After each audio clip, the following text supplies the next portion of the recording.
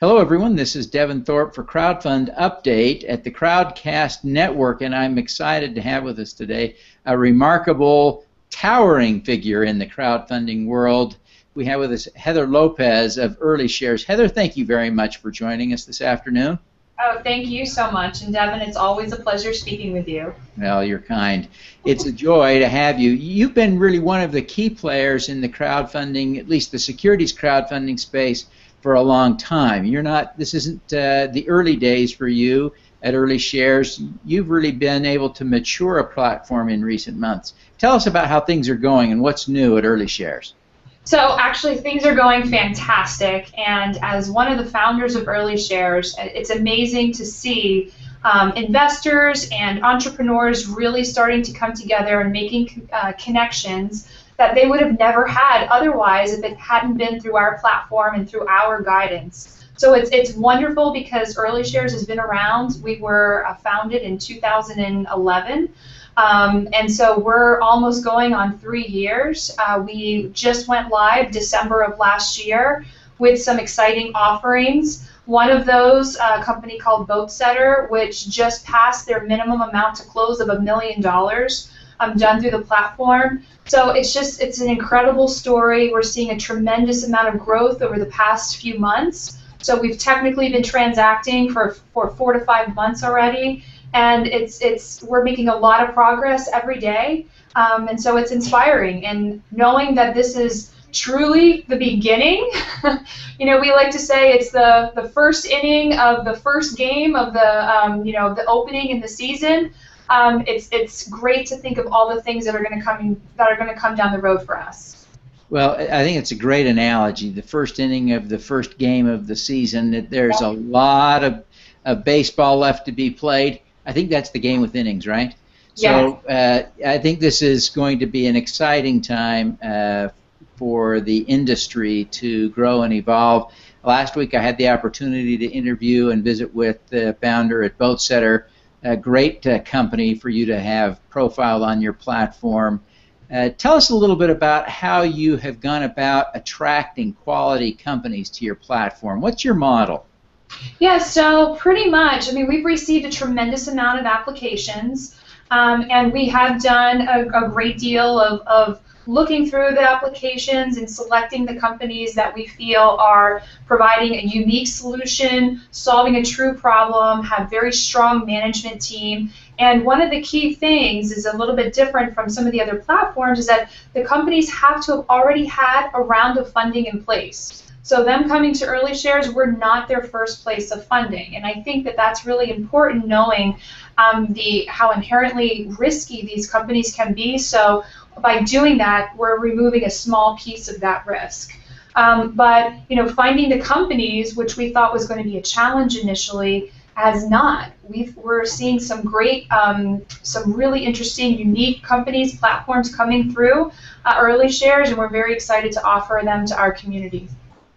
So tell me a little bit uh, more about your uh, curation model. Or to what extent are you screening companies? To what extent is this an open platform to those who meet your minimum hurdle, say, of having raised money in the past? Do you have a minimum amount of money that they must have raised in the past? Tell me more. I think this is an important part of, of what defines a crowdfunding platform. Yes, absolutely. So it's not a minimum amount in terms of dollars um, but it is proportionate in terms of what they're doing. So, in other words, if they're raising a few hundred thousand dollars with us and then they have either a friends and family round or a, fa- a founders round of 50 or 100, okay, that's proportionate and aligned, okay. Um, if they've raised 50,000 internally and then they're coming to us for 10 million, well, there's a little bit of a disconnect there, right? So everything that we look at is proportionate to to that number. What other criteria besides the capital raise are you using to screen companies? Right. So we're looking at the management teams um, heavily, and again, I can't emphasize the word team. Um, the companies that are coming onto our platform have robust teams, robust boards of directors, advisory boards, um, and have pretty much already been there and done that from an entrepreneurial perspective. And so we're looking for those the, the management team to have relevant industry experience within their industry and within and, and doing what they're doing. And typically, when you think about um, you know a tech company startup, you think about a young 20-something year old out of California, and that's really not what we are. You look at a lot of our entrepreneurs and the team on, on our offerings and their experience, their middle aged, if I can say that. you know, experience. This is their third or fourth company that, that they've um, you know had success with in the past and looking to travel down the same route. Um, so just to take for example, Boatsetter, he already had a few successes in one of the companies he took IPO. So that to us demonstrates really strong management, great track record. So team is number one. Looking at what their business is, what their business model is are they truly, do they have something unique? And are they truly solving a problem that's clear, clearly identified, and that can be useful across a broad um, population, right, or a broad user base? Um, so something else that we look at, and also what kind of proprietary information or what kind of intellectual property do they have? Um, is also very important. And several of the companies on our site have patents if not one, they have multiple patents on, on um, their company. So, you know, all of those different points really set those issuers apart from the general population of applications that we get. So, how are you building on the other side of the equation? How are you building a network of investors, or are you relying principally on your issuers to build that network? No, so uh, yeah, that's I mean that's a great question um, because we're doing both in tandem. So obviously, when you look at the culture and the behavior of when investors make an investment in an early stage company, they're doing so um, pretty much because they have a relationship or they have a comfort level and some sort of security with the founders and with the management team. So um, it's really important to leverage, especially for the initial funding for an offering, it's very important to leverage the issuer's network first and get that 30 to 35% that a lot of people reference to get the momentum going and the ball going. Um, and then that's what triggers outsiders to come in. And just to use an example, I had I, I, speak with issuers, I speak with investors and users on the platform um, often because I love to hear feedback. And so one of the investors commented, you know, how is this company doing? And from what I understand, they're doing really well. I'm having some nice conversations coming along and, and disclosing what I can. Um, and he says, you know what? I'm looking at them. I noticed the bars moved, but I'm going to wait until it moves a little bit more to jump in.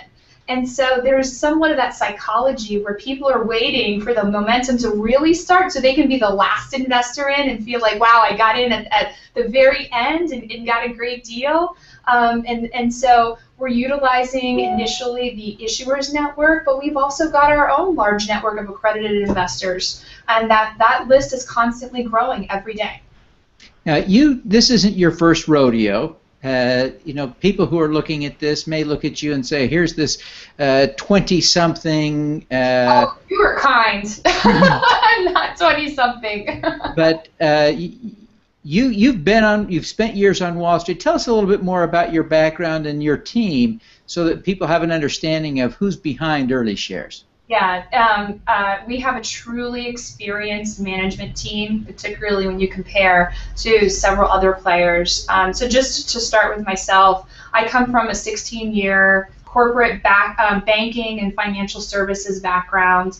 Um, I, I, started with Merrill Lynch for seven years, and then I had my own financial services company here in Miami uh, for a few years, and then I went on to Wachovia and Wells Fargo Private Bank and, and managed close to half a billion dollars for clients and then got back into the entrepreneurial spirit with early shares and just taking everything that I'd learned from those previous positions and applying it here.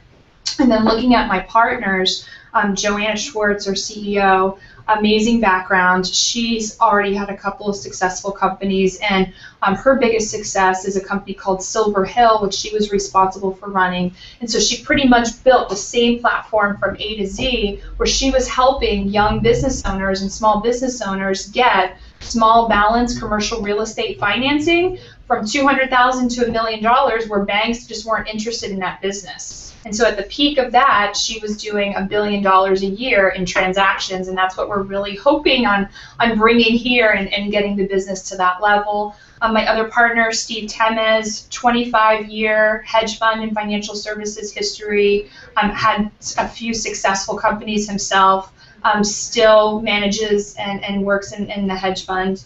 Um, and then my uh, two other partners, Renee Caputi, uh, 25 year legal background. She's an international tax specialist, um, very smart, and also involved in wealth management, dealing with entrepreneurs for several years. And then Maurice Lopes, my husband, um, truly entrepreneurial, visionary, very creative, has had several um, uh, companies over the past 18 years. And so when you look at all of the expertise, everybody can complement what what everybody what everybody each of our backgrounds are and there's really minimal overlap and so that's what I think makes us truly special and unique. Well, it sounds like you've got a great Clearly team. not 20 something, but Well, you could fake it. Uh, so I congratulate you for that, uh, Heather. Well, it sounds like you've got a great team and a, uh, you've got a great uh, uh, portfolio of, of issuers now on the site and a great roster of investors to back them. So sounds like a, a great combination overall. Thank you so much. Again, we're just super excited about everything that we're doing. Um, and you know, I, I don't think I mentioned this before, but our core philosophy is about passionomics, and I'm sure that you've heard that that phrase used by by us before. But it's truly, um, you know, we believe that this is the science of creating value at the intersection of personal passion and investment, and connecting passionate issuers and entrepreneurs with equally passionate investors and and participants, and just putting those two together. Well, I, that's uh, a wonderful word. I love it. Passionomics, and it's uh, a great model for entrepreneurship. Let's just take a look at a few of the contact points now for so people know how to reach you. Of course, uh, your website is earlyshares.com. Yes. Uh, you're on Twitter at uh, at earlyshares, and you're also you personally tweet at yep. Uh, at earlyshares CSO. Is that right? That's right. Okay. Listen, I also want to invite everyone to fo- uh, visit crowdcastnetwork.com where this show will ultimately reside, along with our past episodes. We've got dozens now of past episodes of Crowdfund Update, and uh, as we mentioned earlier, we uh, did an episode of our new show, RegD TV, with Boatsetter last week, and so you can find that on crowdcastnetwork.com as well. And you can follow us at Crowdcast TV. So, again, Heather, uh, thank you very much for joining us today for this great discussion. Thank you. Now, uh, I really uh, want to thank everyone for taking the time to be with us today. And with that, we'll just say goodbye and let's do some good. Thank you.